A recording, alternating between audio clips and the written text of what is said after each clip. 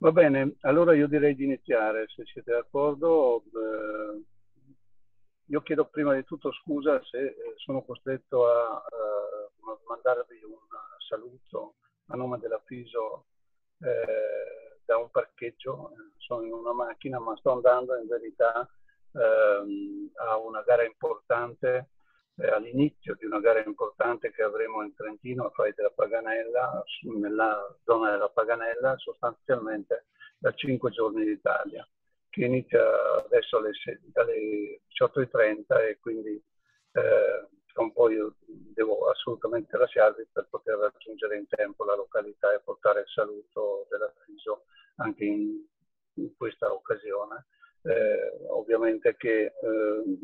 è un po' un rientro eh, a quelle che erano le competizioni inserite in calendario in passato eh, che avevano ottenuto tanto successo, ma a causa della pandemia ovviamente. Abbiamo un numero ridotto di eh, partecipanti e comunque in questo momento l'ordine delle iscrizioni è già abbastanza alto perché eh, sono più di 600 iscritti, quindi eh, rispetto a eh, altre edizioni che vedevano molte più persone provenienti soprattutto dall'estero e in questo momento anche da alcuni stati che sono eh, chiusi per la pandemia, almeno per i, i viaggi da parte eh, di, dei cittadini di, quei, di quegli stati. direi che eh, alla fine è, un, è, è, ancora un successo. Ecco. Detto questo, eh, vengo alla eh, riunione di oggi. È una riunione che ci era stata chiesta da eh,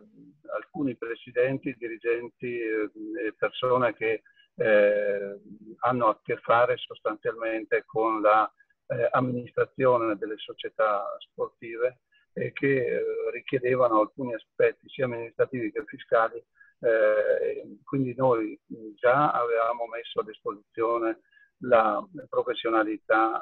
di Mariano, del dottor Mariano De Carli, eh, che ci segue eh, come federazione e che in più occasioni credo abbia eh, anche già risposto privatamente a, eh, a, alcuni quesiti che venivano posti dai, dai nostri tesserati e dai dirigenti e dai segretari amministrativi delle diverse società sportive. Ma in questa occasione ehm, si è ritenuto eh, anche così per consentire a tutti di avere una visione un po' più ampia eh, di quelli che eh, sono le, eh, gli aspetti, come dicevo, amministrativi e fiscali de, de, de, del gestire una società, eh, di fare questo webinar. Allora il, io devo um, ringraziare prima di tutto il dottor Mariano De Carli che si è messo a disposizione e ha dato eh, un'ora, un'ora e mezza del suo tempo in questo caso per poter illustrarvi alcune delle tematiche eh, importanti nelle gestioni eh, e ovviamente ringraziare tutti voi che partecipate augurando che eh, questo eh, webinar possa essere poi visto da tanti in modo tale che eh, sia diffusa un'attenzione eh, diciamo, a quelli che sono i principi che regolano uh, le materie sia gestionali che fiscali. se ci saranno in futuro eh, delle ulteriori eh, richieste ovviamente da parte di eh, persone eh, che hanno dei casi particolari, io credo che se indirizzati alla FISO, che poi li girerà il dottor De Carli, avremo l'opportunità anche di rispondere a questo. Sicuramente questo è uno dei, delle prime volte che si fanno questi seminari particolari, diciamo, ma credo che dall'autunno prossimo, anche in virtù del lavoro che stanno facendo le commissioni eh, gestite dai consiglieri eh, diciamo federali, avremo l'opportunità di parlare, eh, di mettere diciamo, sul tavolo diversi argomenti che non sono solo eh, ovviamente la gestione ordinaria eh, della federazione, ma riguardano aspetti che più interesseranno, eh, credo, proprio le società e i comitati. E in quest'ottica ovviamente ringrazio i consiglieri che sono presenti eh, e anche quelli che stanno lavorando e come il Consiglio lavora eh, diciamo, per poter eh, portare avanti nel modo migliore la gestione sia della fisio centrale sia per, per riuscire a dare tutti gli strumenti necessari per una gestione corretta eh, delle società e dei comitati e delle delegazioni. Io a questo punto devo proprio lasciarvi eh, perché ho circa 40 minuti e quindi eh, per arrivare a, eh, a Fai della Paganella e allora vi lascio in compagnia dei consiglieri e in particolare eh, di Stefano Bisoffi, eh, vicepresidente vicario, e di eh, Simonetta eh, Malossini, il segretario generale. Ringrazio ancora Mariano De Carli, eh, al quale credo di dover cedere la parola se non ci sono eh, altri interventi. Ringrazio. Allora io procederei con appunto eh, questo approfondimento. Innanzitutto voglio ringraziarla per avermi concesso questa opportunità e cercherò di utilizzare un linguaggio il meno tecnico possibile e in modo da poter diciamo, essere veramente d'aiuto a coloro che eh, si occupano della gestione amministrativa delle società, cosa non semplice in quanto eh, presuppone comunque delle conoscenze eh, specialistiche de, e un continuo aggiornamento dal punto di vista fiscale e, che non è eh, così semplice da, da, diciamo, da gestire. E, diciamo che eh, io ho steso un programma di massima e che spaziava un po' su tutte le diciamo, tematiche, dalla fase costitutiva alla fase finale dello scioglimento, poi alla gestione amministrativa, ai compensi, però eh, parlando con la signora Simonetta mi diceva che eh, effettivamente il corso eh, si rivolge essenzialmente a società già costituite e quindi magari mi soffermo soltanto brevemente sulla prima parte in modo che eh, coloro eh, i quali diciamo, gestiscono l'associazione possono fare una specie di check-up per verificare eh, la, la, correttezza del, delle, dei vari adempimenti messi, posti in essere nella fase eh, diciamo, costitutiva dell'associazione. Allora, ehm, cos'è un'associazione sportiva? Un'associazione sportiva è un, un, un, un, gruppo di persone che si organizzano eh, per realizzare l'interesse comune che è l'attività sportiva. E criteri eh, per individuare la l'attività sportiva dilettantistica sono individuati eh, dal CONI, il quale a seguito della legge eh, 289 del 2002 ha istituito un registro e, e che, eh, nel quale devono le società eh, devono, eh, per, essere, per poter avere i, tutti i requisiti per accedere ai regimi fiscali di vantaggio devono essere scritte e, e, e istituisce, individua esattamente quelle che sono le attività che possono essere considerate attività sportive dilettantistiche. E quindi eh, ecco, faccio un, un inciso. Eh, qualche mese fa eh, è stata emanata una nuova disposizione che andrà a riformare il mondo sportivo e è già stata prorogata, come spesso accade, e, e rinviando l'entrata in vigore per una parte nel 2022, però per la parte importante addirittura il 2024. E il registro CONI sarà sostituito da un altro registro, sostanzialmente eh, gli adempimenti eh, sia eh, per quanto riguarda il registro CONI, eh, fase costitutiva, requisiti inerenti, eh, diciamo, eh, le clausole statutarie che eh, consentono appunto di godere di queste agevolazioni, di questi vantaggi sia contabili che fiscali, di fatto non muteranno eh, eh, più di tanto. E, e, comunque siamo in attesa di decreti attuativi e che appunto hanno eh, per il momento questa, la scadenza che ho appena, eh, diciamo, eh, ehm, appena detto.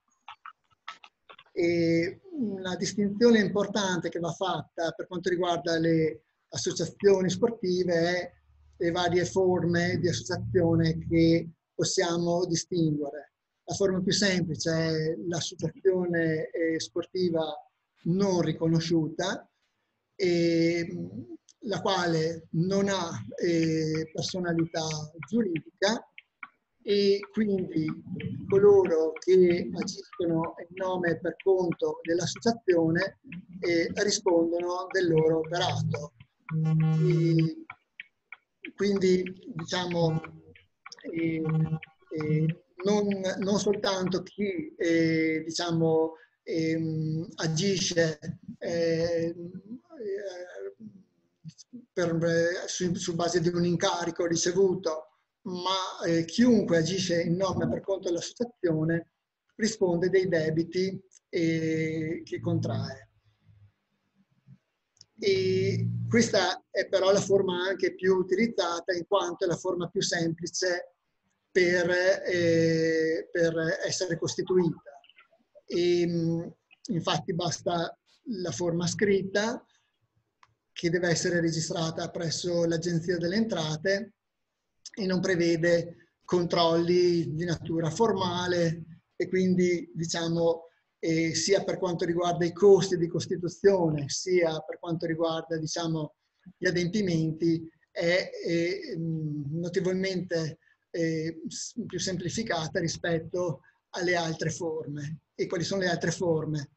Sono l'associazione riconosciuta, in questo caso l'atto costitutivo deve essere redatto in forma scritta e sotto forma di scrittura privata autenticata di atto pubblico, quindi davanti a un notaio,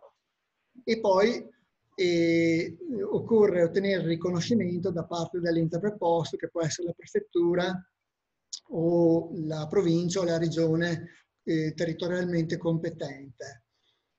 Il riconoscimento eh, attribuisce all'associazione eh, eh, la, la, la, figura di personalità giuridica e l'autonomia eh, patrimoniale. Cosa vuol dire? Che mh, mm, eh, per i debiti contratti dalla, dalla, dalla, dall'associazione risponde esclusivamente l'associazione e non più le persone che agiscono. E, la legge 289 poi ha istituito un'ulteriore forma che eh, diciamo, eh, ha preso abbastanza piede eh, negli ultimi anni, che è la forma della società sportiva. La società sportiva è, è, praticamente è proprio una vera e propria eh, società. Infatti le forme ammesse sono le società le SRL e, e le società cooperative. E se queste società appunto recepiscono nel loro statuto le clausole normalmente previste per l'associazione, che poi magari brevemente andrò a elencare, e possono essere considerate, diciamo, eh, dal punto di vista eh, fiscale mh, mm, equiparata alle, società, alle associazioni sportive dilettantistiche, quindi godendo di tutti i benefici e vantaggi fiscali conseguenti, e, e dall'altro lato però godono appunto anche esse della personalità giuridica e della limitazione di responsabilità. Ovviamente i costi inerenti alla Costituzione, perché anche in questo caso occorre l'atto pubblico, occorre il versamento di un capitale sociale minimo, e, e occorre l'osservanza di tutte le norme previste per, specificatamente previste per le società, per il tipo di società prescelto, è ovvio che comportano dei costi gestionali e degli impegni gestionali piuttosto importanti e quindi la scelta si giustifica soltanto quando effettivamente o per dimensione o per rischio eh, della, della, dell'attività o altre situazioni particolari eh, lo eh, ritengono eh, opportuno adottare una forma di questo tipo. E pertanto generalmente, almeno insomma, mi occupo da tanto tempo nel mondo sportivo, le, le, la maggior parte delle associazioni sono costituite nella forma dell'associazione non, eh, non riconosciuta. E abbiamo parlato di, eh, dei requisiti che deve avere lo statuto, sia la legge 289 che la legge del testo unico dei, dei redditi e, e impongono all'associazione per poter avere di, di godere di determinati vantaggi e l'adozione di alcune clausole statutarie. E, diciamo, eh, normalmente, e, e, questo il, il, caso della Federazione della Fisio è, fa parte di, questi, di, queste situazioni, normalmente sono le federazioni presso le quali le associazioni chiedono di affiliarsi che eh, diciamo, eh, assistono le associazioni che vogliono costituirsi nel eh, verificare se lo statuto proposto e sia, si attenga appunto a queste disposizioni. Quindi le cito solo così a titolo informativo, ma sono sicuro ecco, che da questo punto di vista le problematiche eh, eh, sono eh, risolte alla radice mediante l'assistenza da parte della vostra federazione. E le, le, le, diciamo, le clausole principali sono legate, diciamo, quando l'associazione si costituisce, logicamente deve redigere un atto costitutivo e uno statuto.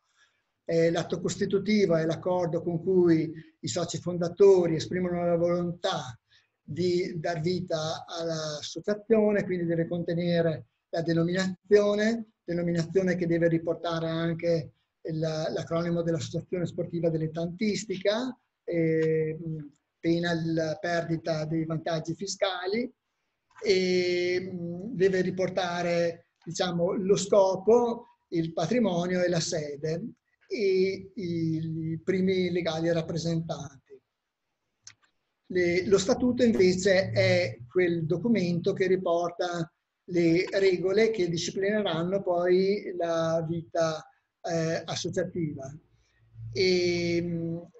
quindi lo statuto, appunto, come dicevo in precedenza, deve eh, riportare necessariamente alcune eh, clausole e, mh, per questo per poter eh, far sì che l'associazione goda di, eh, di, queste semplificazioni, vantaggi e benefici fiscali. E, mh, il testo unico, anche la legge 2002, appunto prevedono che la denominazione preveda l'indicazione della finalità sportiva, e sia riportato l'oggetto sociale con riferimento all'organizzazione dell'attività sportiva dilettantistica, compresa l'attività didattica, l'attribuzione della legale rappresentanza, quindi e, e la, e, diciamo, e questo mm, si inquadra in quel principio di democraticità, principio generale secondo cui deve, gestire, deve essere gestita l'associazione Pertanto eh, occorre che siano previste appunto la possibilità dell'elettorato sia attivo che passivo all'interno dell'associazione, per tutti i soci logicamente maggiorenni. E quindi appunto il principio fondamentale che deve ispirare l'associazione nella sua gestione è quello della democraticità e dell'uguaglianza dei diritti. Quindi appunto appena accennato all'elettorato attivo e passivo, tra tutti i soci eh, diciamo, devono avere uguali diritti. Molto spesso eh, gli statuti prevedono varie figure di soci, i soci fondatori, i soci onorari, i soci sostenitori. Ecco, tutte queste categorie comunque eh, possono diciamo, essere eh, previste, ma eh, tutti i soci devono comunque avere i medesimi diritti e poter eh, diciamo, ambire a ricoprire le cariche all'interno e soprattutto poi partecipare alle eh, assemblee sociali. Questo è un aspetto molto importante perché eh, quando ehm, eh, l'Agenzia delle Entrate o la SIAE eh, effettua delle verifiche di natura amministrativa fiscale, la prima cosa che vanno a verificare è che appunto la gestione della, eh, dell'associazione venga eh, svolta in modo eh, assolutamente eh, democratico e trasparente. Quindi questo cosa vuol dire? Vuol dire che ehm, non è detto che le cariche tutte devono eh, ruotare e, e i vari incarichi ruotare ogni tre anni. L'importante è che venga concessa a tutti l'opportunità di partecipare all'assemblea e di ambire eh, a, a, potenzialmente a, a, ricoprire le cariche che, che vengono previste appunto dallo statuto. Come ho detto, e, e un'altra clausola importante è appunto, eh, richiamandomi prima all'assemblea, la forma idonea di pubblicità del, dell'assemblea, quindi devono prevedere gli statuti espressamente come le assemblee devono essere convocate e, e, e in questo caso anche eh, diciamo, eh, è un elemento questo molto spesso eh, verificato, quindi Molto spesso gli statuti indicano eh, la possibilità di esporre una convocazione presso l'albo, presso all'entrata dell'associazione. Molto spesso è meglio, è opportuno dar prova, magari anche fotografica, dell'avvenuta convocazione, di accompagnarla comunque tramite email o comunque con, adesso abbiamo mille, mille, mille strumenti per poter comunicare, ecco, quindi di ampliare il più possibile questi mezzi di coinvolgimento di tutta la eh, compagine associativa. l'atto costitutivo poi deve essere ovviamente registrato presso l'Agenzia delle Entrate e, e, contestualmente deve essere richiesto il codice fiscale. E, mh, mm, diciamo, contestualmente alla richiesta del codice fiscale, qualora l'associazione avesse intenzione di porre in essere attività commerciale, sarebbe opportuno anche richiedere contestualmente appunto la partita IVA in modo che il, eh, il codice numerico che viene attribuito è unico sia come partita IVA che come codice fiscale. Ovviamente, ripeto, se l'associazione non ha intenzione di svolgere l'attività commerciale è sufficiente che ehm, richiedere esclusivamente il codice fiscale. E il, il, il, passo successivo è appunto l'ottenimento del riconoscimento sportivo e qui entra in ballo anche la FISO perché è necessaria appunto l'affiliazione, affiliazione che deve essere eh, diciamo eh, perfezionata presso una federazione riconosciuta dal CONI o da un ente di promozione sportiva eh, riconosciuto dal CONI stesso. Ehm, l'ulteriore poi aspetto amministrativo sempre da osservare in fase eh, eh, costituente è quello dell'invio del modello EAS, che non è altro che una, eh, diciamo, ehm, una, una, richiesta di informazione anagrafica relativa da parte dell'Agenzia delle Entrate eh, nei confronti dell'associazione per individuare il, la tipologia di associazione e, e eventualmente andare diciamo, a eh, classificare l'associazione tra le potenziali associazioni da controllare o meno, a seconda che facciano appunto che possa, ponga in essere attività commerciale o meno. Il modello ES deve essere presentato da tutte le associazioni che si costituiscono e che, eh, diciamo, ehm, eh, che sono iscritte al registro CONI ovviamente entro 60 giorni.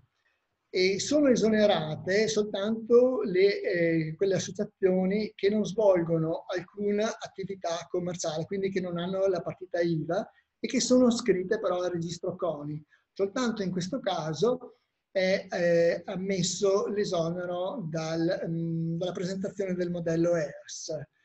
Il modello ERS è molto importante perché soltanto eh, a seguito della presentazione eh, di questo modello l'associazione potrà beneficiare dei vantaggi fiscali di cui è la legge 398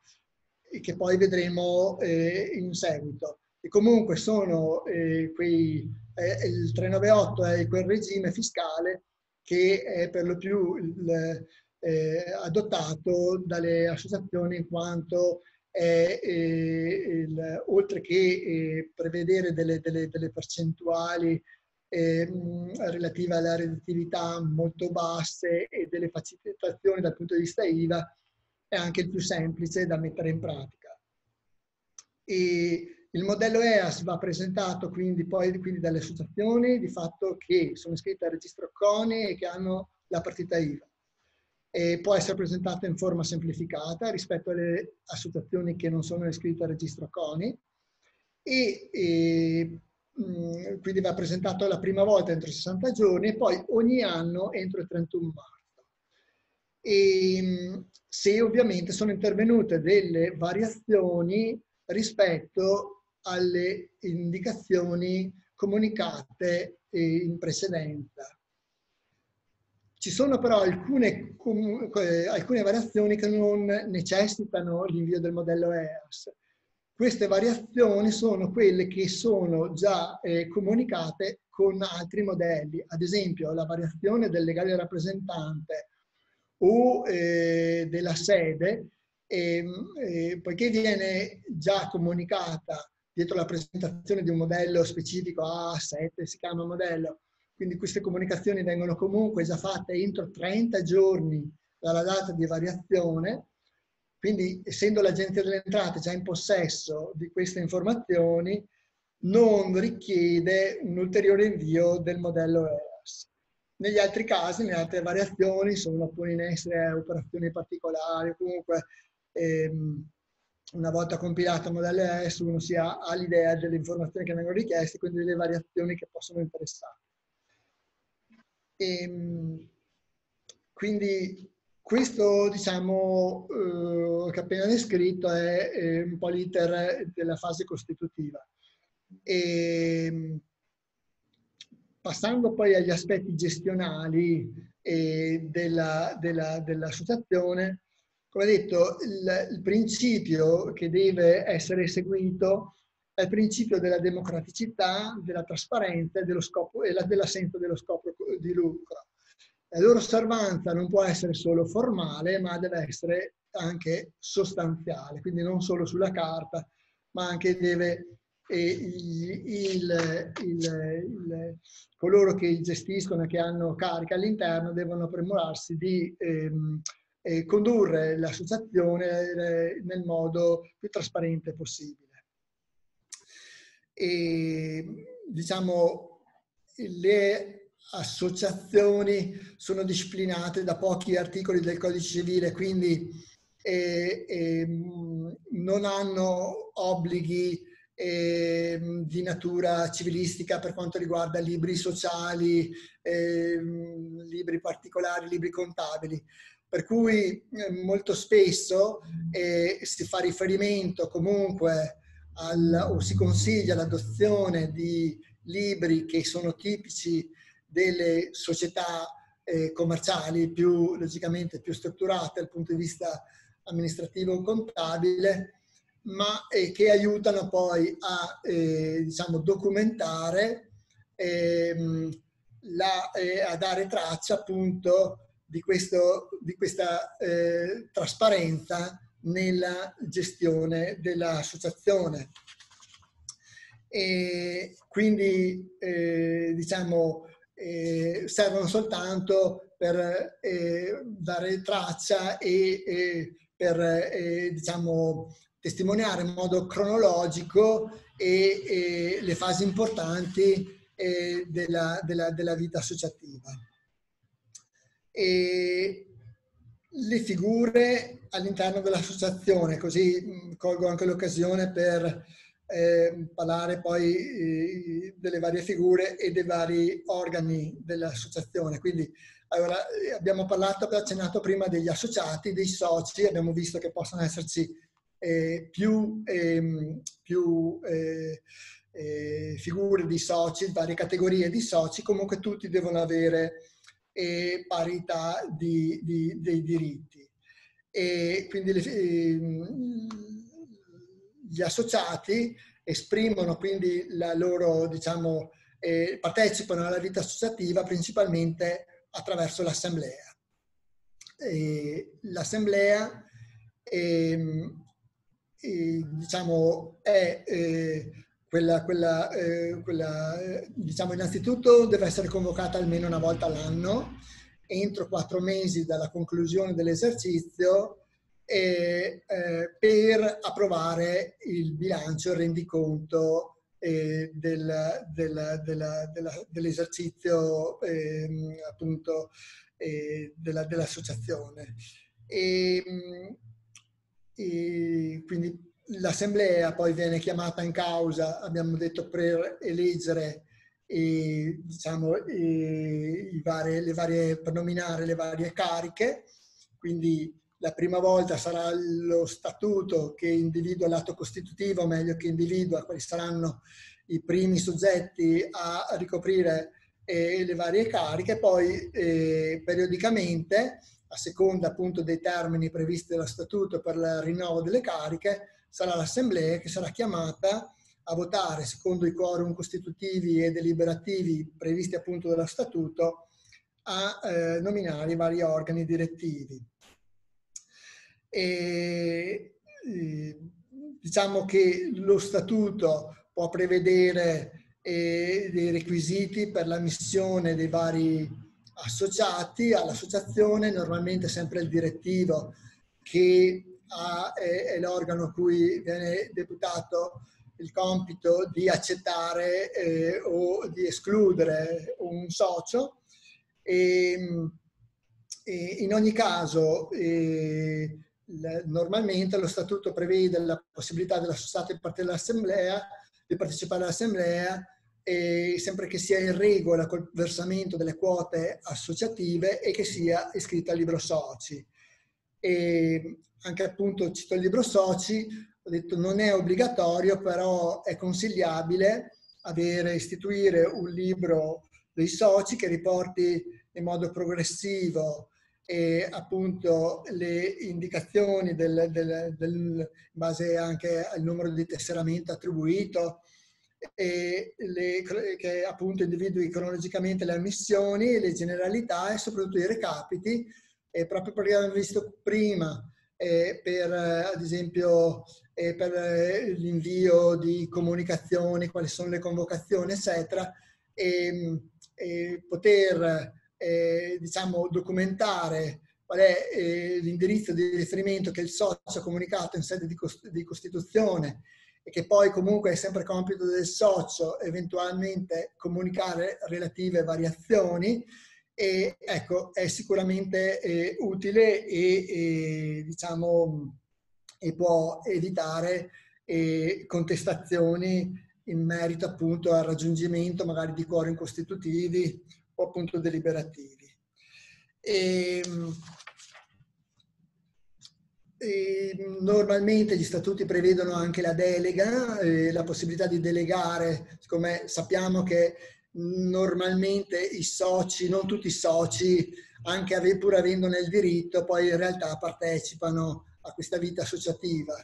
E quindi eh, molto spesso, anche per raggiungere, soprattutto nelle piccole associazioni dove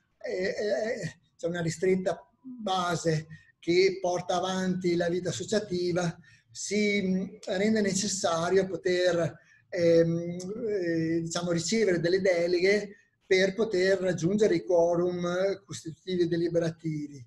Ecco, in questo caso normalmente gli statuti prevedono già, indicano dei limiti entro cui diciamo del numero di deleghe da poter attribuire a un medesimo soggetto e in ogni caso un'altra accortezza che suggerisco è quella di non attribuire delle deleghe in modo indiscriminato proprio per non eh, incorrere in impossibili contestazioni sempre di, eh, legate a questa, a questa diciamo, regola della democraticità nella gestione dell'ente.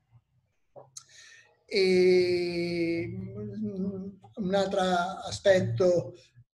che, che, che, da tenere presente anche se non obbligatorio, comunque che è opportuno formalizzare diciamo, la riunione assembleare con un verbale, non occorre istituire un verbale, un libro, però almeno eh, conservare in modo cronologico i, i copie dei, dei, dei, verbali sottoscritti dal segretario dal presidente è anche, anche questa cosa quantomeno diciamo eh, opportuna e, e, e, che aiuta a, a mantenere ecco, una, una, trasparenza nella gestione. E, diciamo un altro organo è l'organo direttivo e lo statuto prevede di solito il numero minimo, il numero massimo e l'organo direttivo è, è diciamo, l'organo a cui è demandato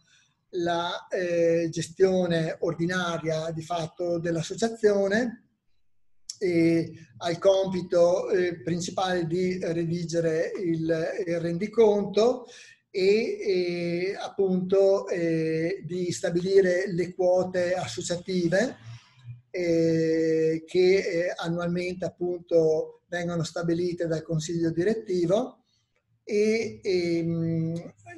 e appunto al quale è demandata la gestione ordinaria. All'interno del consiglio direttivo o l'assemblea in sede di nomina del consiglio direttivo viene nominato un presidente, il presidente ha la legale rappresentanza dell'associazione e di fatto eh, è, è, colui che dal punto di vista diciamo eh, normativo è, eh, essendo legale rappresentante e realizza di fatto le, eh, le delibere eh, emanate dal consiglio direttivo, quindi pone in essere, poi effettivamente concretizza le operazioni. Ovviamente il presidente può delegare altri soggetti, ma la responsabilità ricade comunque sempre sul presidente. Questa diciamo, delega è una delega che ha finalità esclusivamente operative, quindi questo anche, non so, l'agire sui conti correnti, poter operare sui conti correnti dell'associazione e normalmente viene nominato un segretario, un tesoriere, eccetera. Ecco, sono figure che hanno dei compiti eh, molto importanti all'interno dell'associazione, ma eh, diciamo la loro responsabilità si riflette soltanto internamente all'associazione dal punto di vista esterno, colui che è responsabile nell'associazione non riconosciuta è sempre presidente. E, ehm, se non ci sono domande io passerei un po' a vedere quelli che sono gli adempimenti contabili, gli adempimenti fiscali. E, ehm, allora, eh, gli adempimenti contabili ovviamente si differenziano a seconda che l'associazione ponga in essere delle attività commerciali o, o meno. E, ehm,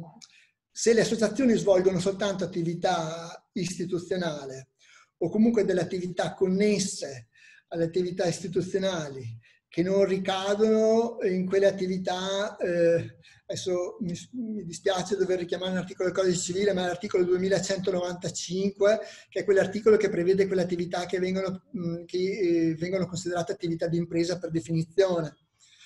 E, ehm, quindi eh, appunto le associazioni che svolgono attività esclusivamente di natura istituzionale, che svolgono occasionalmente qualche attività di natura accessoria che eh, può essere appunto anche commerciale, perché appunto non rientra l'articolo 2095 e ehm, ecco, non hanno comunque eh, l'obbligo di aprire la partita IVA, a differenza invece delle associazioni che eh, pongono in essere anche in modo accessorio delle attività commerciali. E per individuare quelle che sono le attività commerciali, perché molto spesso nell'ambito della, gestione amministrativa dell'associazione ci si pone il problema quando eh, eh, l'attività eh, rientra tra le attività commerciali e quando non rientra. E ovviamente per distinguere bisogna far riferimento all'articolo 145 del testo unico delle imposte dei redditi. Eh, l'articolo 145 delle imposte dei redditi eh, prevede che eh, sono comunque commerciali alcune attività eh, indipendentemente da eh, come vengano svolte, cioè indipendentemente dal, dal fatto che siano accessorie delle attività eh, istituzionali, indipendentemente dal fatto che comunque vengano svolte in modo occasionale. E quali sono queste attività? Adesso vado a memoria e comunque sono, ad esempio, la vendita di beni nuovi,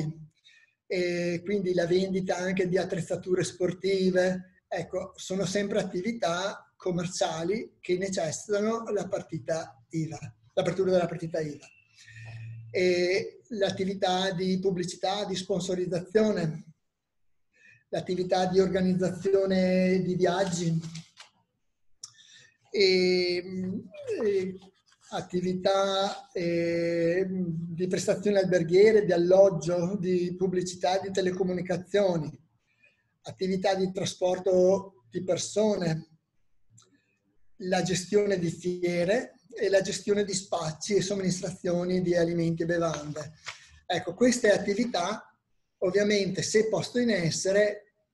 eh, obbligano l'associazione a, oltre a dotarsi della partita IVA, a eh, dover diciamo, adeguarsi a quelle che sono appunto le normative fiscali, che poi andremo a vedere eh, nel dettaglio. E, allora, abbiamo detto che appunto le associazioni che non svolgono attività commerciale, quindi non hanno nessun obbligo né contabile né, eh, né fiscale. L'unico diciamo, obbligo è quello legato sempre a quel principio di trasparenza e comunque di rendicontare l'attività ovviamente, quindi sarà una eh, rendicontazione delle entrate e delle uscite seguendo il principio di cassa a cui diciamo eh, eh seguirà poi appunto l'avanzo o il disavanzo della, della gestione. E ehm, nel rendiconto potranno essere diciamo, riportate in modo eh, diciamo, eh, raggruppato per, per, specifiche voci le entrate per le quote associative, le donazioni, eh, le uscite per acquisti di beni, le spese per attività sportiva, però ecco, non c'è la necessità di avere un, diciamo, un, un, un bilancio eh, eh, più articolato. Ehm, anche le associazioni che non svolgono attività, comunque rendi, questo, questo, rendiconto, seppur semplificato, deve essere sottoposto entro quattro mesi all'assemblea dei soci. E, e, diciamo, passando adesso alle associazioni invece che pongono in essere e attività eh, commerciali, ovviamente mh, il primo passo è quello dell'apertura della partita IVA, successivamente eh, devono, adottare, devono dotarsi appunto di un impianto eh, delle scritture contabili mm, previsto dalle normative di riferimento. E, essenzialmente ci sono diciamo, eh, tre eh, regimi eh, fiscali. Il regime che quindi poi fiscali e che comportano poi anche dei eh, conseguenti adempimenti contabili. Il regime eh, fiscale ordinario che eh, diciamo è obbligatorio per eh, le associazioni che ehm, conseguono un volume d'affari eh, relativo all'attività commerciale di eh, una certa rilevanza e precisamente sono eh, mi pare 400.000 eh, euro per le prestazioni di servizi, 700.000 euro per le altre attività. Ecco, penso che difficilmente eh, associazioni eh, eh, riescono a raggiungere dei volumi di questo tipo. Comunque, per, solo per, per, per, a titolo informativo, l'adozione di questo, di, questo, di questo regime comporta l'adozione di una contabilità ordinaria, quindi un impianto contabile fiscale analogo a quello delle imprese commerciali. Non mi dilungo su quello che poi sono gli aspetti appunto eh,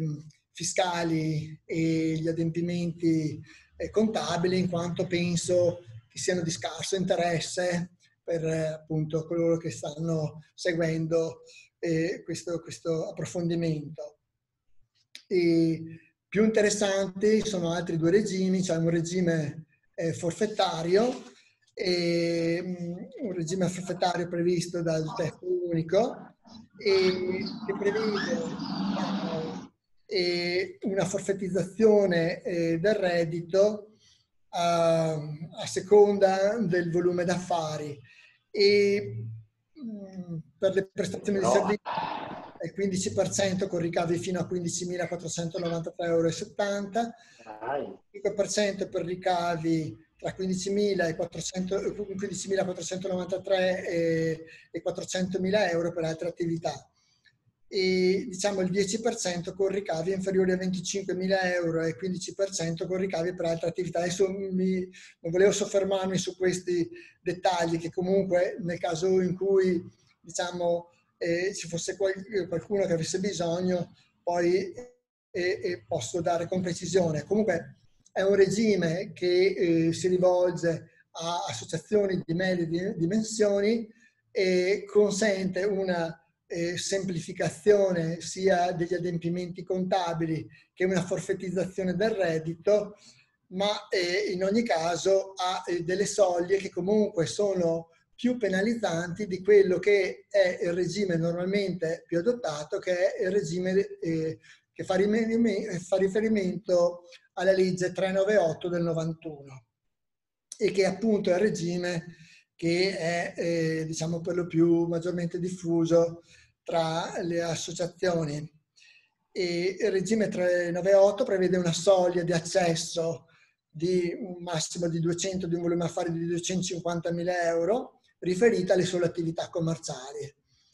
E per il primo anno di, di, di opzione di questo regime, questo, questa soglia deve essere rapportata ad anno, cioè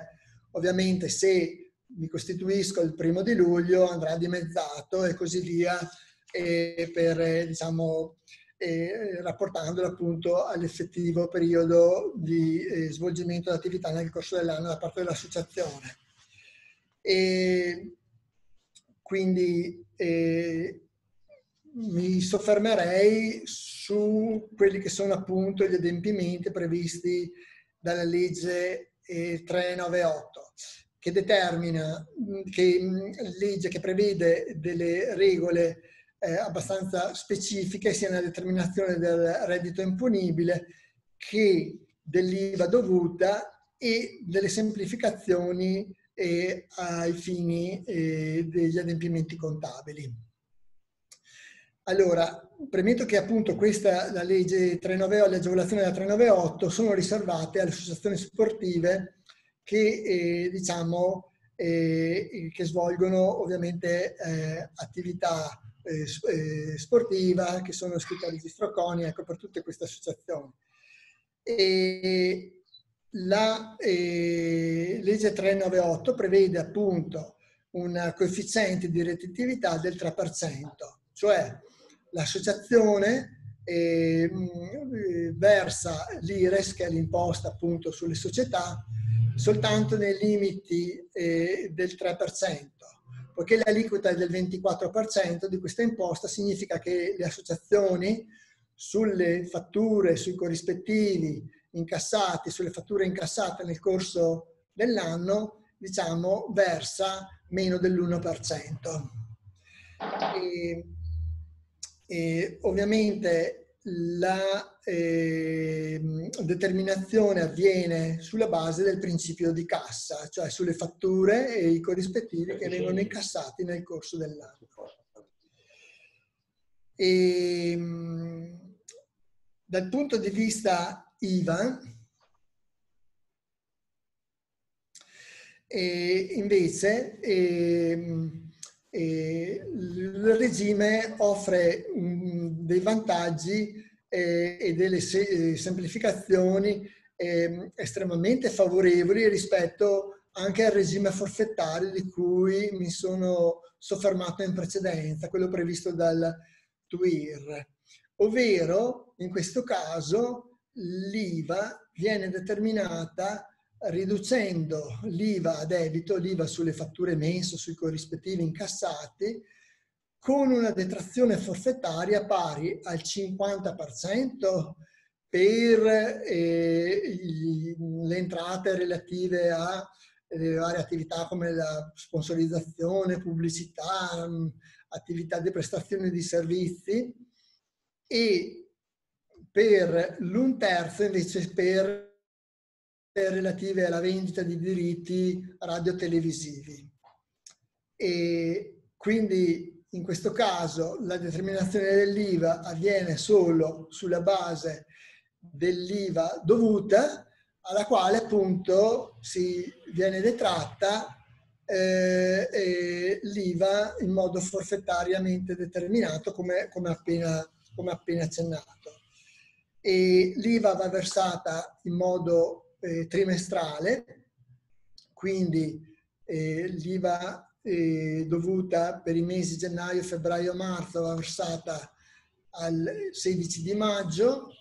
l'IVA del secondo trimestre il 16-20 di agosto, normalmente viene festeggiata il 20 di agosto, ma per legge, l'IVA del terzo trimestre il 16 di novembre, l'IVA dell'ultimo trimestre il 16 di febbraio. Questa è una data a cui bisogna fare attenzione perché eh, non coincide con la liquidazione delle attività, delle, eh, attività commerciali che normalmente liquidano l'IVA il 16 di marzo, quindi è anticipata di un mese. Per contro, l'associazione non deve presentare la dichiarazione IVA e quindi eh, l'unico adempimento dal punto di vista IVA eh, appunto è quello della liquidazione dell'importo, del versamento e poi di una registrazione contabile. Registrazione che vale anche ai fini dei redditi. E, mh, mm, infatti tra le varie mh, mm, diciamo, semplificazioni è quella, eh, c'è quella prevista appunto ai fini IVA, ai fini dei redditi, che è quella di riepilogare anche cumulativamente, mese per mese, tutte le entrate e in un apposito prospetto che deve essere conforme a quello istituito con un decreto ministeriale del 97, che era un registrino dei forfettari dell'epoca, e, L'importante in questo registrino è che vanno annotate sia le entrate relative alle attività in modo separato, sia le entrate relative alle attività istituzionali, sia le attività eh, commerciali per i quali appunto devo versare l'IVA e devo poi versare eh, con la percentuale del 3% eh, l'IRES. E, diciamo, la, la L'associazione in 398 deve comunque presentare la dichiarazione dei redditi perché ovviamente eh, l'imponibile viene determinato sulla base appunto delle fatture emesse e dei, e dei, e dei corrispettivi incassati e, ehm, e, e quindi diciamo eh, annualmente deve presentare la dichiarazione affidandosi a un intermediario abilitato oppure abilitandosi tramite il fisco online. E la, eh, diciamo, un ulteriore adempimento dichiarativo è la dichiarazione IRAP che per le associazioni che non svolgono alcune attività commerciali è soltanto diciamo, eventuale la rappresentazione è soltanto eventuale, cioè è subordinata all'erogazione da parte dell'associazione di compensi a lavoratori autonomi oppure a lavoratori dipendenti. Infatti in questo caso l'imponibile IRAP è costituito dall'importo relativo alle retribuzioni e ai compensi a lavoratori autonomi occasionali erogati nel corso dell'anno, al netto ovviamente delle relative deduzioni. Per tutte le altre associazioni che pongono in essere attività commerciali, e ovviamente la presentazione della dichiarazione dell'IRAP è obbligatoria e l'imponibile è costituito oltre alle, alle, alle, alle, voci che ho appena descritto, cioè al, ai, ai, dipendenti, e, e alle retribuzioni dei dipendenti, ai compensi erogati ai lavoratori autonomi occasionali, anche delle e, e dell'imponibile delle attività commerciali, cioè questo famoso 3%, quindi diventa rilevante anche ai fini IRAP. Questi sono gli adempimenti principali. L'associazione per optare per la legge 398 ovviamente deve comunicarlo all'Agenzia delle Entrate mediante la presentazione della dichiarazione IVA e questo è un adempimento anche che può sfuggire perché ovviamente poiché la dichiarazione IVA viene presentata nell'anno successivo, eh, occorre tenere, puntarsi questo adempimento perché eh, dal momento della effettiva costituzione al momento della comunicazione può passare anche più di un anno. E contestualmente l'opzione deve essere comunicata alla SIAE che ad oggi è ancora l'organo che, eh, la, a, cui è demandata la possibilità di eh, effettuare dei controlli di natura amministrativa e anche fiscale eh, delle associazioni per conto dell'Agenzia delle Entrate. Quindi la SIAE deve essere informata anche del, appunto, del, della, delle, dell'eventualità dell'opzione eh, alla, alla, alla alla legge 398. E, ehm, diciamo che mm, gli adempimenti sostanziali sono, sono questi. Poi ovviamente possono esserci delle situazioni particolari legate alla necessità di dover dichiarare plusvalenza in natura commerciale, però ecco, penso che eh, si, siano adempimenti che riguardino una ristrettissima eh, eh, platea di, di, di, di, associazioni, per cui non, non intendo soffermarmi in questa sede su questi adempimenti, comunque sono eventualmente disponibile nel caso in cui eh, qualcuno avesse la necessità di approfondire queste tematiche. E, ehm,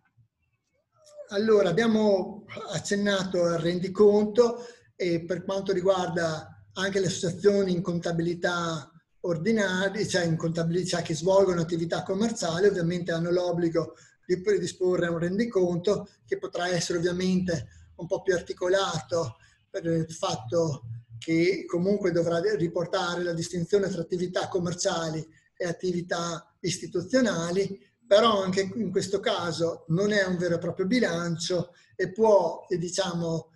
consistere in una rendicontazione delle entrate e delle uscite con gli stessi criteri eh, utilizzati diciamo, dalle associazioni che non svolgono attività commerciali.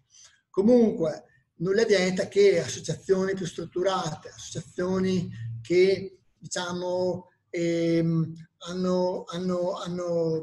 hanno un'attività più, eh, una dimensione eh, più importante, eh, possano diciamo, ehm, eh, possano redigere il bilancio seguendo gli schemi previsti per le società commerciali e, e diciamo, pur non avendo l'obbligo di doversi diciamo, adeguare a questi schemi. E, ehm, diciamo, ecco, per quanto riguarda, abbiamo parlato delle scritture contabili e, e um, una domanda che viene posta è e, tempi di conservazione. Ecco, i tempi di conservazione sono quelli classici perché vengono individuati dal codice civile, cioè sono i, i canonici 10 anni per, le, eh, per, la corrispondenza e le scritture contabili e eh, il termine di prescrizione per le verifiche fiscali, normalmente 5 anni a partire dalla presentazione della relativa dichiarazione, per quanto riguarda invece eh, i, la documentazione che ha una valenza esclusivamente eh, fiscale. E allora, diciamo un breve cenno e, e su, sulle altre imposte, domande che mi vengono poste su imposte di bollo, sulle associazioni. Allora, tengo a precisare, allora, le associazioni eh, sono obbligate al versamento dell'imposta di registro anche se in misura fissa, cioè pagano sempre 200 euro anche se vanno a modificare lo statuto, quindi l'imposta di registro è 200 euro. Imposta di bollo, l'imposta di bollo è stata diciamo eh, tolta nel 2018 mi pare, però presuppone che eh, la, la, la l'associazione sia già iscritta al registro CONI, cioè eh, se vado a presentare uno statuto la prima volta, l'Agenzia delle Entrate mi chiede l'imposta di bollo perché io devo ancora iscrivermi al registro CONI. Se vado a modificare lo statuto, in realtà eh, non dovrei versare l'imposta di bollo, anche se molto spesso il funzionario, la persona della, dell'Agenzia delle Entrate non è... Eh, a conoscenza e, non, eh, e, e mi fa versare comunque questa imposta di bollo. Comunque, in realtà l'imposta di bollo non è dovuta. E così come non è dovuta l'imposta alla tassa di concessione eh, governativa. E adesso passerei ad analizzare eh, la disciplina dei compensi che vengono erogati alle associazioni sportive dilettantistiche e, ehm, diciamo, e, alle associazioni sportive dilettantistiche, alle società. Io le, alcune delle, delle, delle diciamo, disposizioni eh, interessano sia le associazioni che le disposizioni agevolative interessano sia le associazioni che le società sportive. Io ho sempre citato le associazioni, però ehm, come in questo caso, queste disposizioni agevolative nell'erogazione dei compensi riguardano sia le associazioni che le società sportive dilettantistiche e eh, appunto per le somme erogate ad atleti dilettanti, cioè a coloro che partecipano attivamente all'attività sportiva, quindi eh, atleti, eh, giudici, cronometristi, e sia eh, a coloro appunto che partecipano all'attività formativa eh, dell'associazione, quindi all'assistenza, quindi a allenatori, accompagnatori. E, ecco, eh, sono previste diciamo delle agevolazioni fiscali eh, nella, nell'ambito appunto del riconoscimento a questi soggetti di, dei rimborsi forfettari. E queste agevolazioni sono stese anche a eh, quei soggetti che eh, eh, hanno dei rapporti di collaborazione coordinata continuativa con l'associazione e che svolgono in maniera non professionale attività eh, volta alla gestione amministrativa, cioè a eh, quel compenso che viene riconosciuto, al, volontario, quel rimborso forfettario che viene riconosciuto quel soggetto che si occupa della gestione amministrativa, ecco, rientra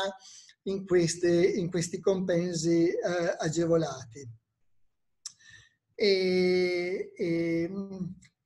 quindi tengo a precisare che non sono compensi i rimborsi spesa e, e, erogati dietro presentazione dei giustificativi di spesa, cioè i cosiddetti rimborsi piedilista i rimborsi piedilista, quindi fatti sulla base del documento, la fattura, può essere anche lo scontrino presentato, quando anche lo scontrino quando insomma è, è abbastanza è facilmente riconducibile la spesa a una trasferta, la fattura dell'albergo del ristorante o anche l'indennità chilometrica, qualora diciamo, eh, venga sostenuta con automezzo proprio eh, de, del soggetto e comunque al di fuori, per trasferte sostenute al di fuori del comune dove è ubicata la sede dell'associazione, quindi non vale per la trasferta dall'abitazione dell'atleta alla sede dell'associazione, ma dalla sede dell'associazione al luogo in cui avviene la manifestazione, che deve essere in un comune diverso,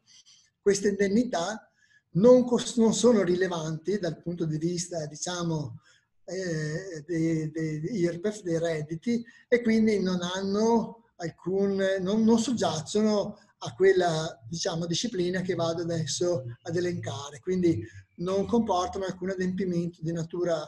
formale se non quello di lasciare traccia ai fini della rendicontazione interna dell'associazione. Allora, sui compensi che vengono erogati, che sono eh, dal punto di vista fiscale inquadrati come redditi diversi di cui l'articolo 67 del TUIR, diciamo, sono agevolati e quindi non rilevano dal punto fiscale fino alla soglia di 10.000 euro. Fino a 10.000 euro sono esentasse. Da 10.000 euro a 30.658 euro subiscono una trattenuta a titolo di imposta del 23%, cioè dell'aliquota più bassa, che attualmente appunto è il 23%, più l'addizionale regionale, che ad esempio in provincia di Trento è l'1,23%, subiscono questa ritenuta a titolo di imposta, ma eh, non impongono l'obbligo di, eh, di dichiarazione da parte del percipiente.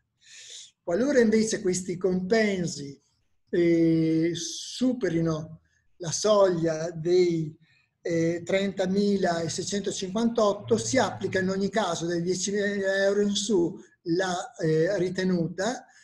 che ho, nella misura che ho, che ho citato in precedenza, però eh, solamente a titolo di acconto. Poi il percipiente dovrà eh, presentare la propria dichiarazione dei redditi e eventualmente versare il conguaglio sulla base di altri redditi eh, percepiti. Quindi soltanto in quest'ultimo caso deve essere presentata al percipiente eh, la, diciamo, la dichiarazione dei redditi. E, e quali sono gli adempimenti che devono essere posti in essere quando vengono erogati questi compensi? Allora, il primo è logicamente eh, a, cura del percipiente stesso. Il, percipiente, che può essere anche un atleta, anche nel corso di una premiazione, cioè il premio previsto da una competizione a un atleta dilettante ovviamente, l'atleta che riceve il premio deve la, rilasciare un'autocertificazione scritta, accompagnata quindi dal documento di identità, in cui attesta gli eventuali importi o di non aver ricevuto alcun importo eh, della stessa natura. Eh, perché ovviamente questo eh, diciamo, adempimento della ritenuta a titolo di imposta di acconto eh, scaturisce per il superamento, al superamento dei 10.000 euro, tenuto conto di tutti i compensi che l'atleta ha ricevuto anche da altre associazioni. Cioè, quindi ogni associazione che eroga appunto il compenso deve eh, premurarsi di ottenere questa certificazione, altrimenti potrebbe essere passibile di sanzione anche pesante per aver omesso il versamento della ritenuta d'acconto. Ovviamente, se l'associazione si dota di questa autocertificazione, anche fosse non corretta, per l'associazione non, eh, non, non, non, comporta alcuna poi eventuale diciamo, contestazione qualora diciamo, avesse agito in modo corretto sulla base di quanto dichiarato. E, ehm,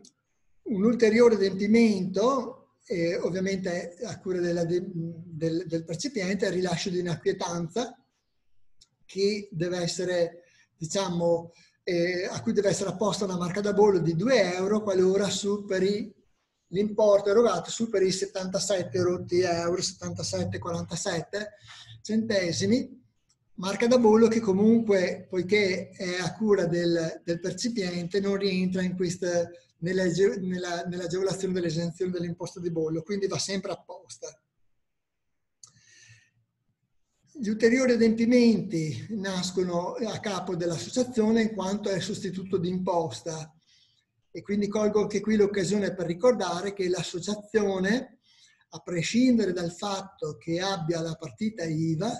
è sempre sostituto di imposta. E cioè, cosa significa? Significa che comunque deve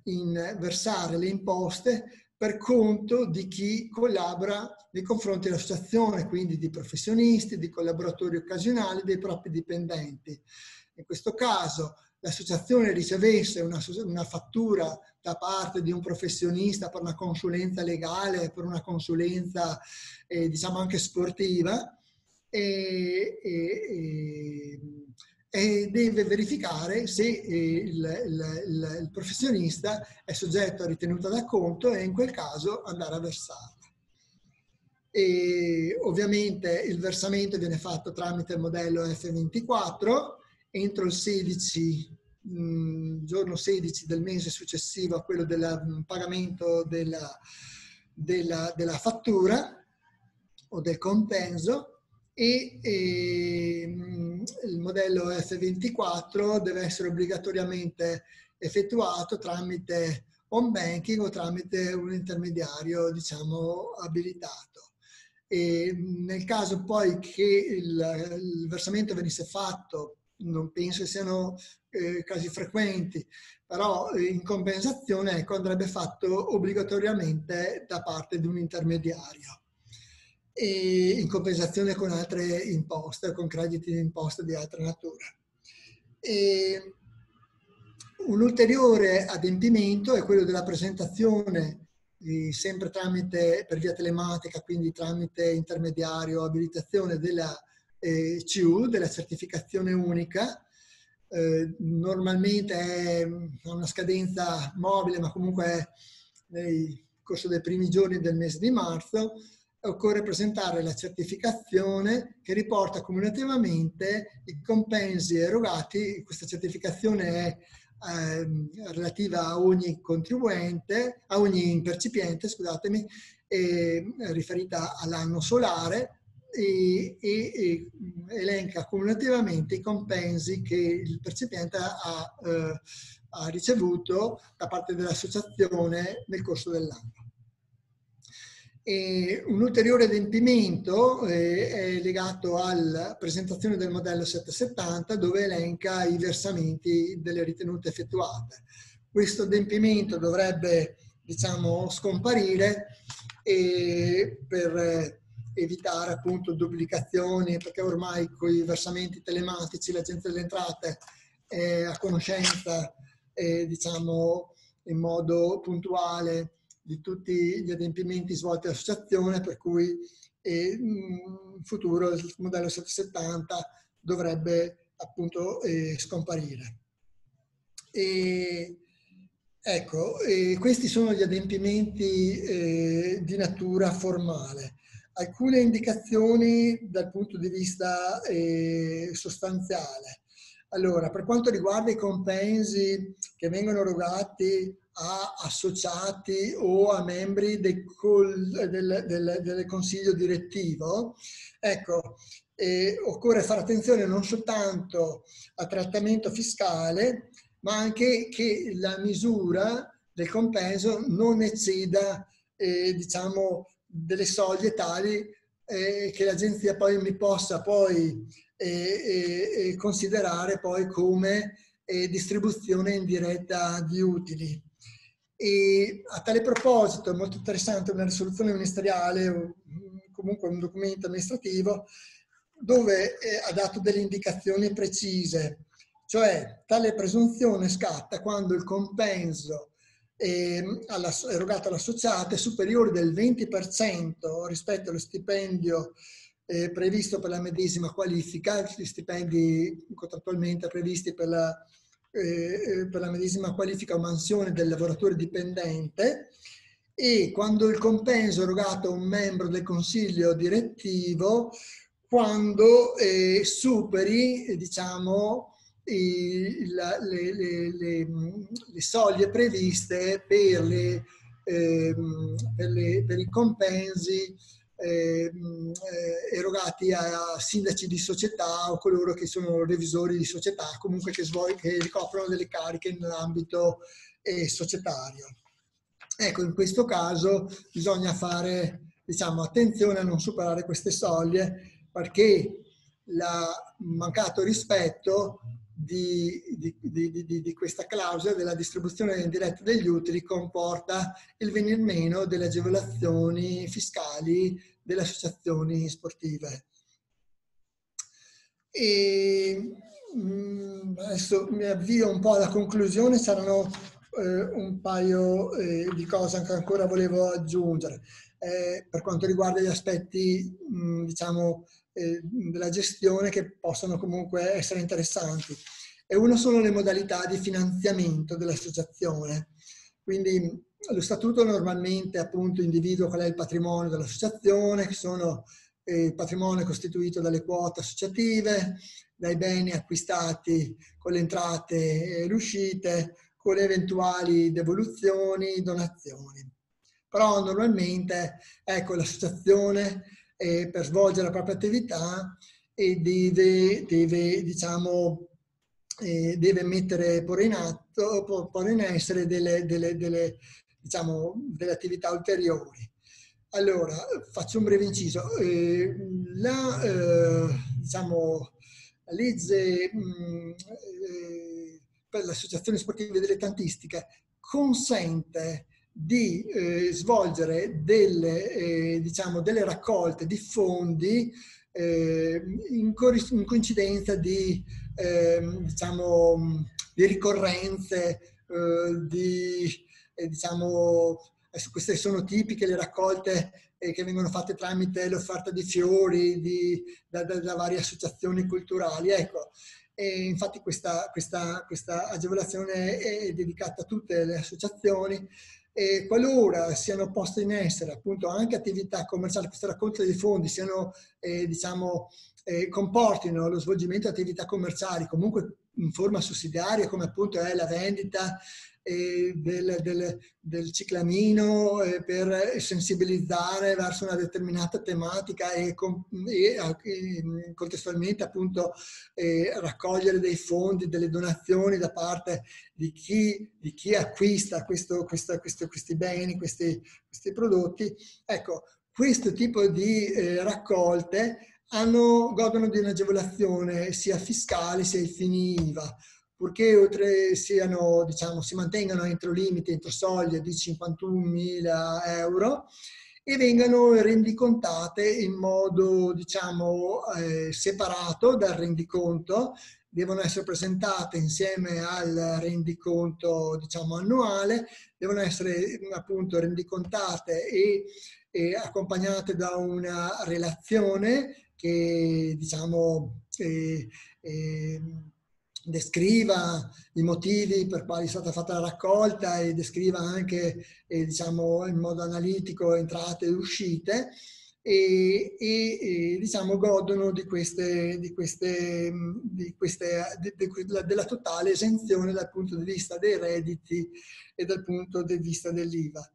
E soltanto quando raggiungono dimensioni veramente diciamo, eh, ecco, importanti, queste relazioni devono essere anche trasmesse, ma comunque l'importante è che ehm, diciamo, ecco, abbiate conoscenza anche di questo tipo di agevolazioni. E parlando, ritornando al discorso del, del finanziamento, dei modi di finanziamento, allora abbiamo visto che il modo ordinario è quello della raccolta delle quote associative che vengono stabilite annualmente dal consiglio direttivo. E queste quote possono essere anche stabilite in modo diverso a seconda dei vari tipologia dei soci e della partecipazione, della, diciamo, del, della, della, diciamo, del beneficio da parte dell'associato a dei servizi che vengono posti in essere dall'associazione. E, altra fonte di entrata classica è quella dell'attività di pubblicità, di sponsorizzazione, che comporta l'obbligo sempre comunque dell'apertura della partita IVA e della fatturazione. Ecco, a proposito di fatturazione, che qui mi permetto di fare dei brevi incisi eh, per quanto riguarda gli adempimenti amministrativi, ad oggi le associazioni non hanno l'obbligo di, se non hanno volumi d'affari che superano i 65 mila euro, non hanno l'obbligo dell'emissione della fattura elettronica, possono emettere la fattura cartacea, solo qualora superano questi limiti è opportuno che si dotino di strumenti per emettere la fattura in modo elettronico, altrimenti sarebbe anche l'opportunità di farla emettere eh, da capo a chi, a chi, riceve la prestazione, comunque c'è l'obbligo della, di documentare la prestazione con la fatturazione elettronica. E appunto appena detto delle raccolte e, e diciamo in occasione di, di, di, in occasione di ricorrenze e, e un'altra forma che è quella del 5 per 1000 e diciamo eh, ovviamente le associazioni riguardano soltanto le società sportive dilettantistiche che svolgono comunque delle attività che hanno una rilevanza sociale e che quindi indirizzino anche la propria attività, attività formativa dei giovani, dei diciamo minorenni, oppure anche degli ultra sessantenni, quindi che in questo caso non attività formativa, ma di praticare attività o, di, o, o comunque di avviare attività, diciamo, eh, a determinate categorie di soci anche svantaggiati. Ecco, in questo caso, eh, se l'associazione pone in essere queste tipologie di attività, può eh, diciamo, beneficiare eh, della devoluzione del 5 del, per 1000 da parte dei contribuenti. E, ehm, anche qui eh, mh, occorre preventivamente iscriversi all'elenco appunto dei soggetti beneficiari, occorre eh, inviare in modo telematico eh, una comunicazione, quindi o direttamente o comunque tramite intermediario, e questa comunicazione adesso è, eh, diciamo, una volta che l'associazione a seguito della comunicazione ha ottenuto la registrazione permanente, quindi fino a poco tempo fa occorreva ogni anno e, e rinviare, comunicare al CONI, eh, l'iter era molto più articolato, da, eh, recentemente è stato semplificato, quindi la comunicazione viene fatta una volta sola è necessario rinnovare la comunicazione soltanto quando o venissero meno i requisiti o ci fossero delle modificazioni varie al legale rappresentante, ecco questo è importante, o variassero altri requisiti per i quali appunto eh, sussistemano le condizioni. E in questo caso deve essere eh, ripresentata. E,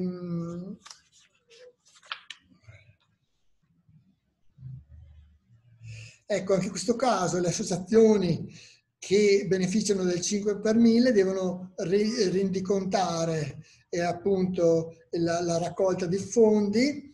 insieme accompagnandola da una relazione illustrativa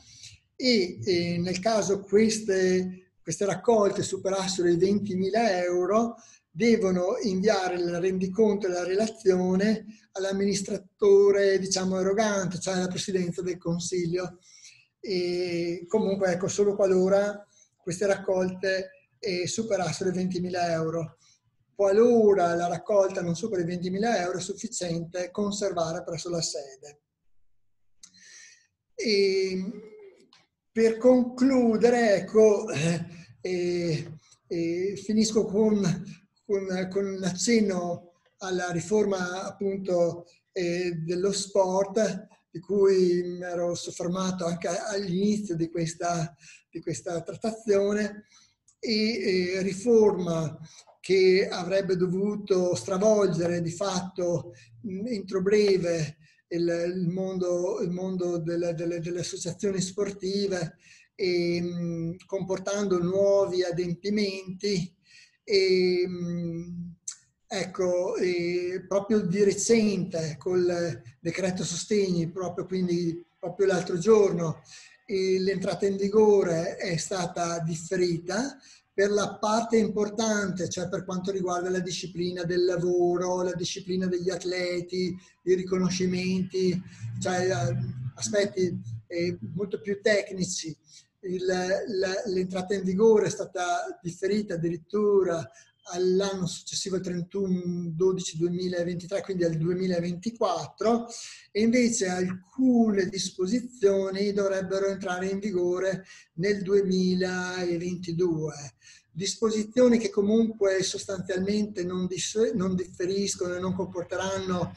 adempimenti molto diversi da quelli che ho appena diciamo, elencato, in quanto e, ecco, una novità importante è che viene sostituito il registro CONI da un altro registro eh, equivalente comunque e non gestito più dal CONI e che è appunto eh, l'elenco delle società sportive dilettantistiche.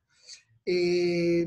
quindi diciamo vengono ecco, previste delle limitazioni eh, all'esercizio, allo svolgimento di altre attività ulteriori a quelle sportive, questo proprio perché per, eh, diciamo, per andare a um, poter eh, diciamo, circoscrivere i, eh, la, la, la, la, circoscrivere l'ambito delle associazioni sportive dilettantistiche alle società eh, non lucrative, quindi per rimarcare lo scopo non lucrativo eh, delle associazioni. E poi eh, un aspetto importante è quello della compatibilità tra associazioni sportive dilettantistiche e enti del terzo settore,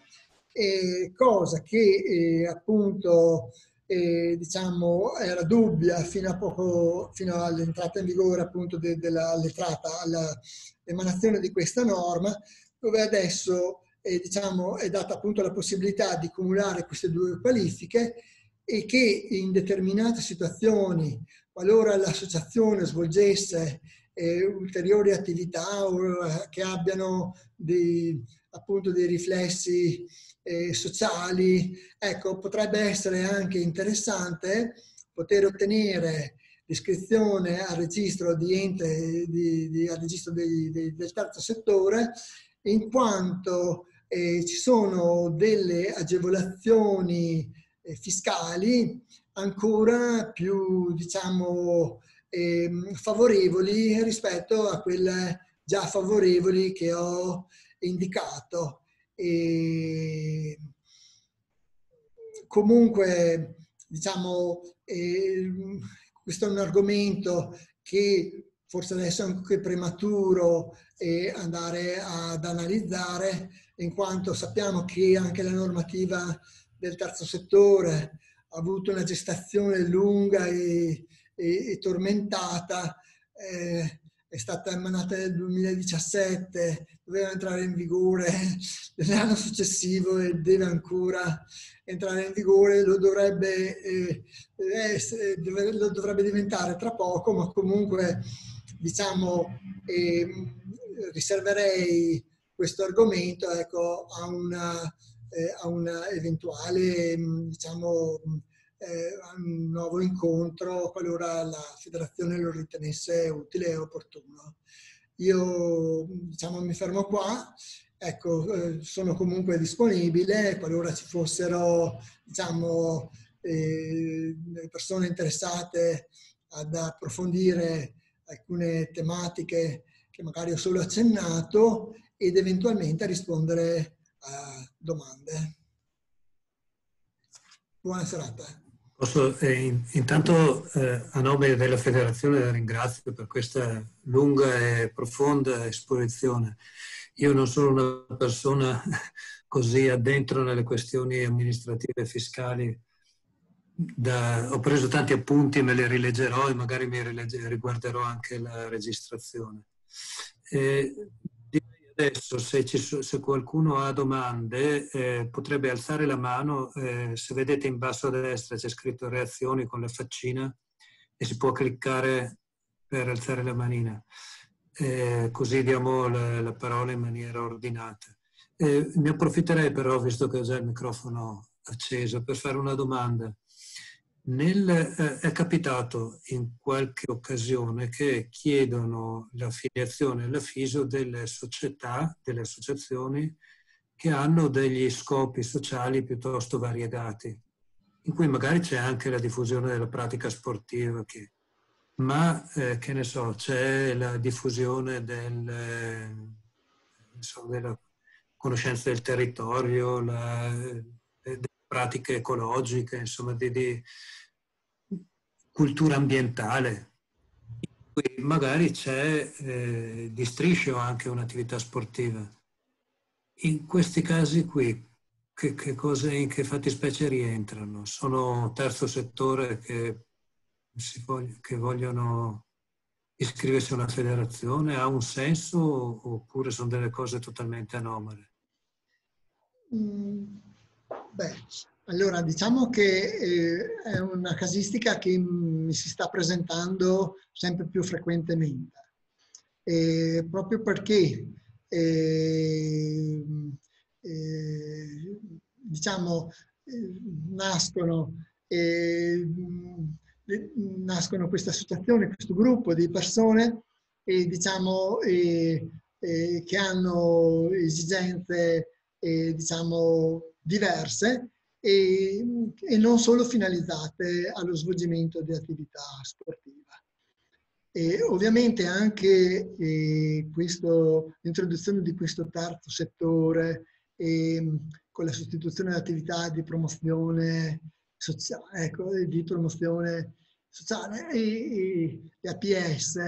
ha indotto un po' eh, diciamo e quindi eh, a, a adottare degli oggetti sociali eh, che possano andare bene eh, sia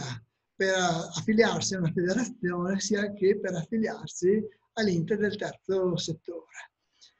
Ovviamente dal punto di vista sportivo l'importante è che l'associazione si prefigga lo scopo di svolgere un'attività sportiva prevista dall'elenco attualmente sulla base delle disposizioni attuali dall'elenco delle, delle, attività del CONI. E quindi qualora l'attività eh, rientri, qualora poi nel, nello svolgimento dell'attività l'associazione di fatto rispecchi tutte le, eh, diciamo, i principi e le regole che abbiamo elencato in precedenza, non, non sussistono dei particolari problemi. Ovviamente una regola è che fondamentale di base che lo statuto, l'oggetto sociale non può essere indeterminato, cioè non posso mettere tutto, ecco, perché allora eh, diciamo, deve essere comunque eh, eh, diciamo, circoscritto a determinate attività e che possano essere sussidiarie uno con l'altra o complementari, non alternative.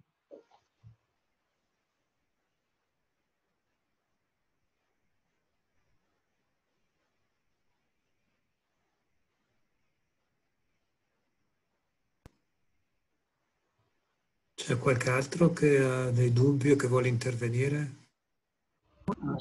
Sì, Stefano. Stefano, mi senti?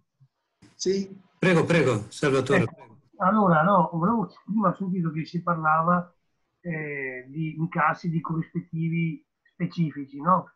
Allora, se questi corrispettivi vengono versati da, mh, mm, eh, diciamo, enti o comunque ehm, da, da settori diciamo pubblici e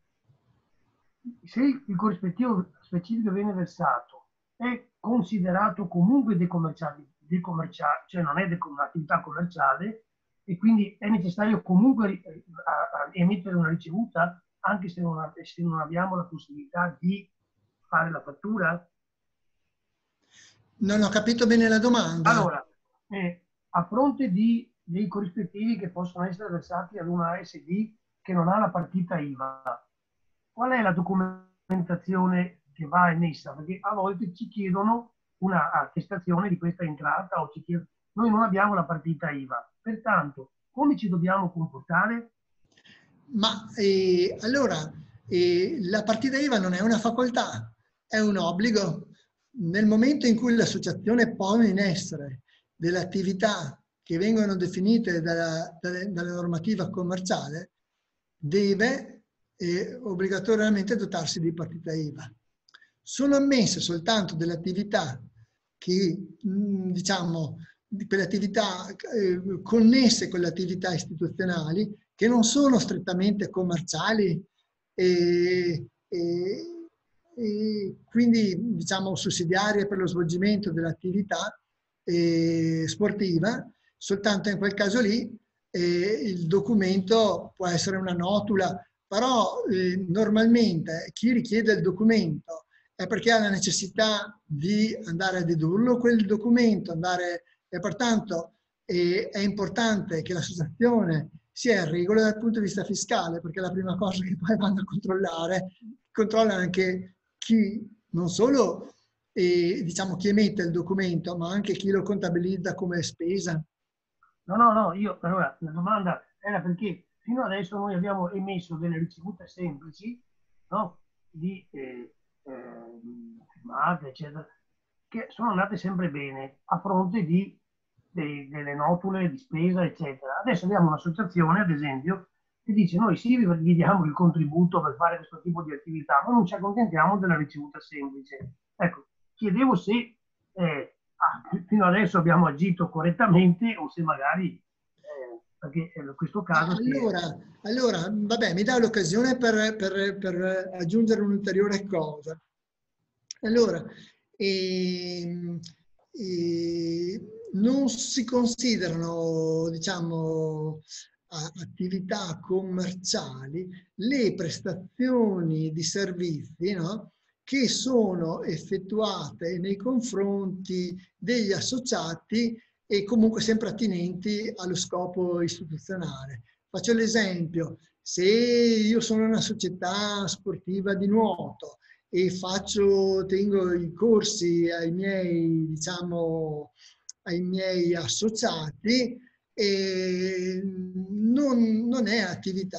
commerciale, quindi basta un semplice documento, non un documento fiscale, diciamo, può essere una nota, quello, quello che, che,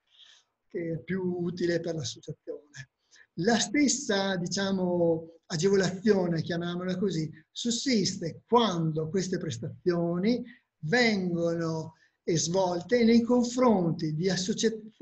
che svolgono la medesima attività o che sono iscritte al eh, medesimo or organismo nazionale o regionale o eh, federazione o appartengono alla stessa federazione. Quindi non vorrei che appunto la differente diciamo, impostazione sia legata al fatto che l'associazione è un'associazione che svolge un'attività diversa da un'associazione invece che è affiliata alla medesima federazione o che svolge la stessa attività. Solo in questo caso, diciamo, e quel caso che appunto appena eh, descritto, le attività non sono, si chiama decommercializzazione della, della, della, della prestazione e quindi non, non, non comportano eh, diciamo, eh, l'assolvimento degli adempimenti fiscali conseguenti. Quindi diciamo che possiamo, vabbè, ho, ho compreso. Grazie. Sento pochissimo, a dire la verità. Eh? No, ho, ho, ho compreso la risposta, sì. eh, quindi la, la ringrazio. Niente, niente.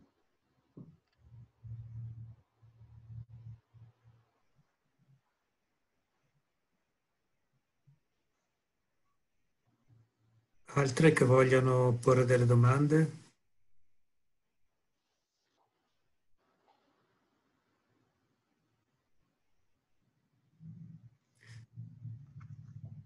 Ma eh, visto che nessuno si fa avanti, allora io eh, la ringrazio nuovamente per il tempo che ci ha dedicato, perché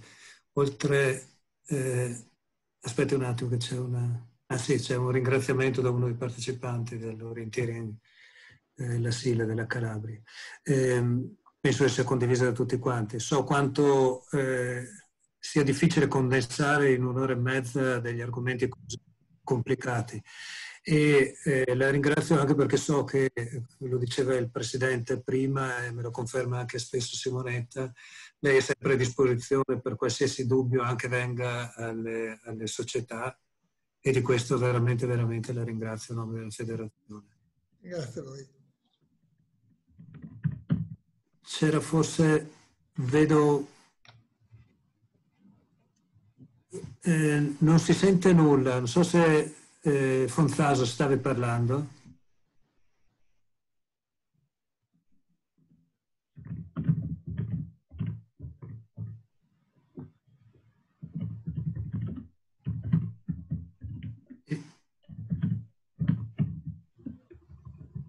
Il microfono sembra acceso ma non si sente nulla.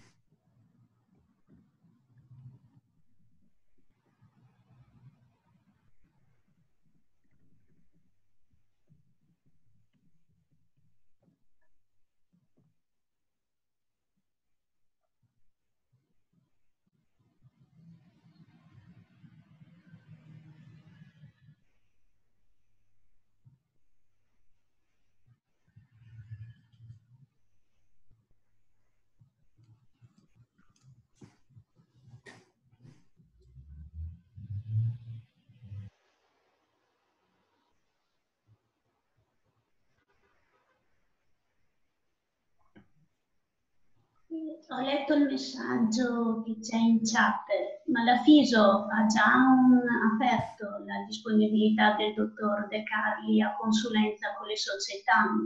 È già operativo anche da, da più di un anno, due anni penso. E lo trovate nel sito con, con l'indirizzo mail del dottore la, per l'invio di qualsiasi quesito amministrativo abbiate bisogno.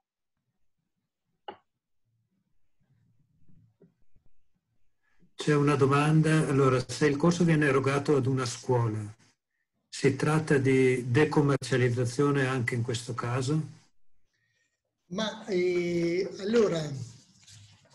eh, se l'attività formativa no, eh, rientra sempre nell'ambito dell'attività istituzionale è decommercializzata, altrimenti no. Ok, invece da Fonzaso che non, riusciva, non riesce a far funzionare il microfono, c'era in chat questa richiesta. Se acquistiamo dei materiali per gli atleti, possiamo richiedere dei soldi? Immagino agli atleti. Sì, eh, diciamo, eh, possono essere delle quote considerate delle quote associative aggiuntive. Ovviamente eh, ciò che rileva dal punto di vista fiscale è la vendita agli atleti di attrezzatura sportiva che purtroppo eh, va fatturata e quindi, e quindi mh, le, le, attrezzature poi devono rimanere di fatto di proprietà dell'associazione. Pena eh, di, di, di, non assolvere gli adempimenti fiscali che nulla vieta di, di venderle, però ovviamente l'associazione poi deve, deve assolvere le varie imposte.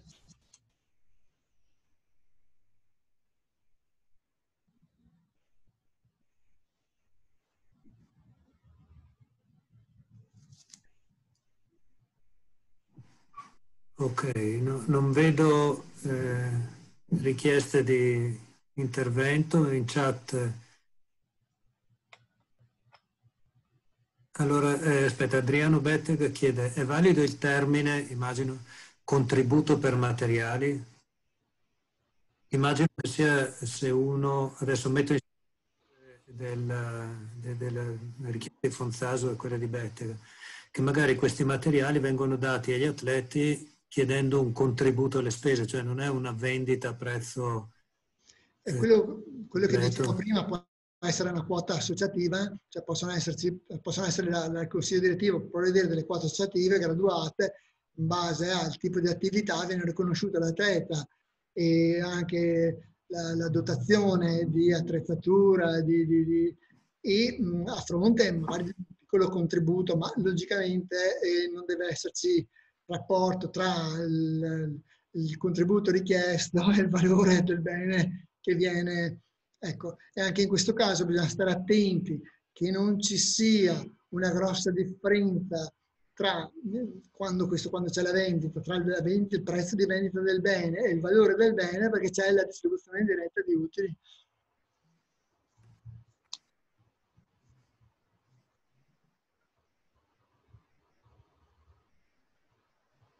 Ok, allora visto che la, la, chat è ferma e nessuno chiede di intervenire, io di nuovo la ringrazio, confermo quanto ha anche messo in chat e anche comunicato Simonetta che lei è sempre disponibile per le società in caso di, di, di dubbi. Aspetti che c'è un'altra richiesta adesso, di nuovo da, da Fonzaso, era lo stesso che prima aveva chiesto. Si è appena risposto, sì sì. Sì, sì. E, ehm, e, quindi di nuovo la ringrazio per la disponibilità per oggi e quello che fa sempre costantemente per le società iscritte alla FISO. Grazie ancora a nome del, della FISO e alle prossime. Grazie, buonasera. Saluti a tutti, a tutti grazie, grazie per aver partecipato. Grazie da parte mia, grazie e un saluto. Termino la registrazione.